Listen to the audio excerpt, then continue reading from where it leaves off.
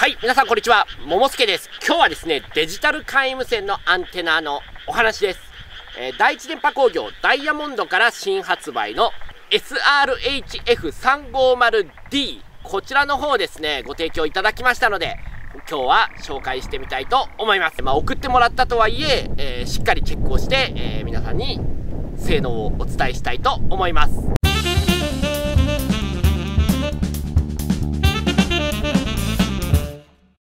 今日紹介するのはダイヤモンド SRHF350D351MHz デジタル皆無線登録局用のアンテナです。これですね、まあこう出してみるとわかると思うんですけども、よいしょ。ライセンスフリー無線が好きな方なら、このアンテナ、なんか見覚えがあるんじゃないでしょうか。実はですね、こちら、えー、同じくダイヤモンドのデジタル省電力コミュニティ無線用のアンテナ SRHF140D こちらとですね、まあ、外観というか、えー、この外側は同じタイプになってます。つまりこれですね。このようにかなりフレキシブルにくにゃくにゃと曲がるアンテナになってるんですね、えー、純正アンテナと比べてもまあこれアイコムの純正アンテナですけどもどうだろう？3分の2ぐらいの長さになるのかな？で、純正アンテナっていうのは、まあ、フレキシブルではあるんだけど、かなり、この反発っていうかね、硬い感じがするんですね。それに対して、こちらの方は、もう、ここまで、ぐにゃんと曲がっても元の位置に戻っていくというものです。アイルインコさんの純正アンテナでも一緒ですね。かなりフレキシブルだけど硬い。それに対して SRHF350D はこれだけ柔らかくてアイコムの純正アンテナと比べても、まあ3分の2かな。えー、それぐらいの長さになっています。はい、装着してみた感じとしては、あ、これ、アルインコのトランシーバーで、バッチリ隙間がなくつきますんで、いい感じですね。このやっぱね、僕、この隙間ができるかできないかってね、気になるんですよね。一応スペーサーも付属してるんですけども、えー、アルインコ機ではスペーサー不要です。アイコムはどうなんだ？アイコム機につけてみると、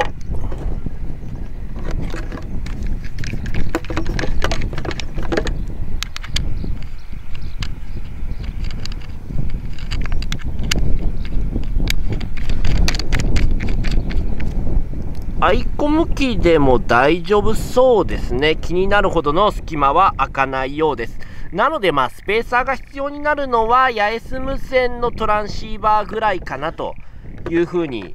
思います。えー、アルインコアイコムであれば、バッチリフィットする感じです。はい。で、第一電波さんにお話をお聞きしたところ、このアンテナはビジネスユースの、えー、お客さんからの要望で、えー、リリースすることになったアンテナということです。つまりはですね、まあ、ビジネスユースの方っていうのは、このデジタル界無線のノーマルアンテナをそのまま使ってるケースっていうのが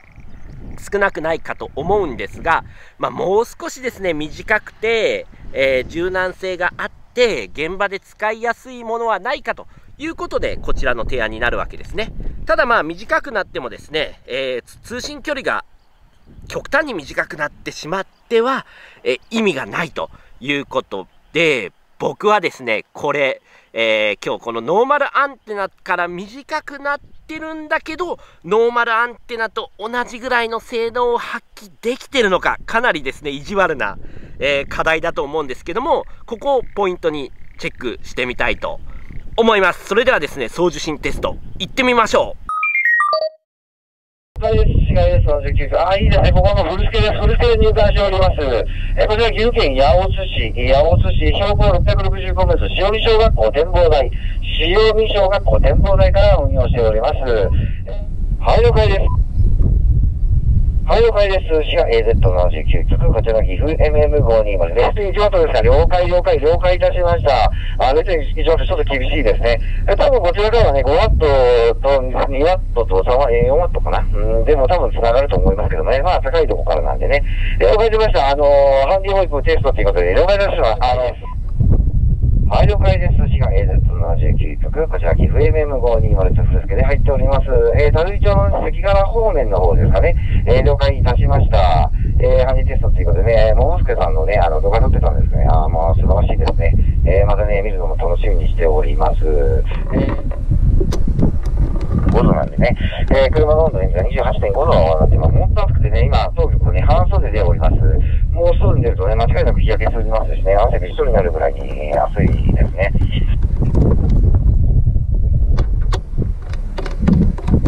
おりますよ。えー、一旦お返しします。が AZ79 局、こちら MM520 です。お返します。どうぞ。長岡 HR420、こちらは滋賀 AZ79。ただいまアンテナのテスト中です。ICOM ICBTR3 純正ホイップで送信中です。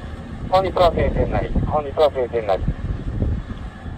長岡 HR420、こちらは滋賀 AZ79。ただいまアンテナのテスト中です。ICOM ICBTR3 純正ホイップで送信中です。本日は晴天なり、本日は晴天なり。長岡 HR420、こちらは滋賀 AZ79。ただいまアンテナのテスト中です。ICOM ICDPR3 SRHF350D SRHF350D で送信送信中です。本日は晴天なり、本日は晴天なり。長岡1420こちらは滋賀 AZ79。ただいまアンテナのテスト中です。ICOM ICDPR3 SRHF350D で送信中です。SRHF350D 試してみましたでこの純正アンテナ、まあ、アイコムとアルインコと両方使って試してみたんですがこれらの純正アンテナと比べて同等かって言われると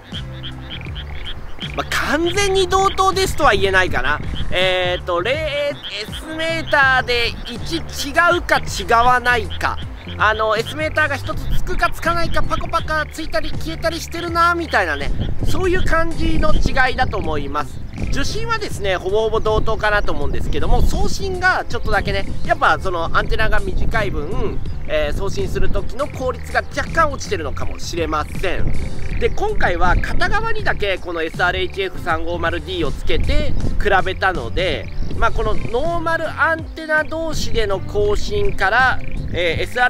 SRHF350D をつけた同士の更新になるとそうするとですねもしかしたらまあ S メーターで1落ちるぐらいにはなるかもしれません、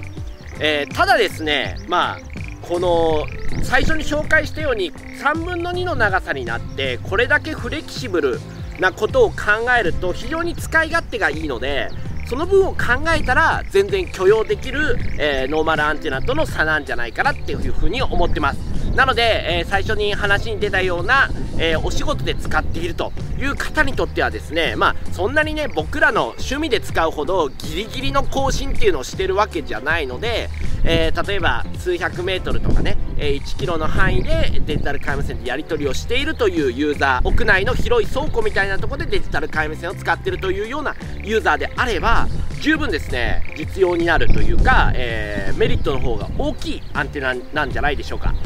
僕らみたいなレジャーユースで言うと僕の場合スノーボードでデジタル回無線をよく使うんですね。でその時に、まあ、写真出しておきますけど腰にこの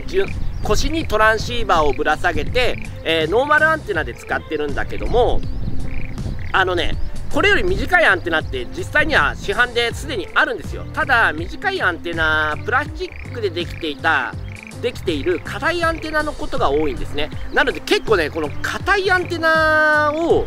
突き出した状態で腰につけとくのってスノーボードだとちょっと怖いんですよ。なのでその時にこれだけ柔らかいフレキシブルなアンテナであればですね、えー、でそれほど通信距離落ちないということであれば僕ねスノーボードでこれ今後使おうかなっていうふうに思っています。だからもう1本ですね自前で買って、えー、2本ぐらい用意してねスノーボードに来年の冬はね来季は持ってってこれ使いたいなと思うところです。なのでまああの遠くとギリギリの更新を狙うというアンテナではないですが実用のアンテナとしてとかあと持ち運ぶ際につけとくアンテナとしての安心感は非常に大きいんじゃないかなというふうに思います。ということで今回はですね第一電波工業から出たダイヤモンド SRHF350D デジタル皆無線のフレキシブルで短いアンテナの紹介でした。この動画が役に立ったなと思う方ぜひ高評価の方よろしくお願いします。また皆さんのソーシャルアカウントでのシェアもよろしくお願いします。以上ももすけでした。バイバイ。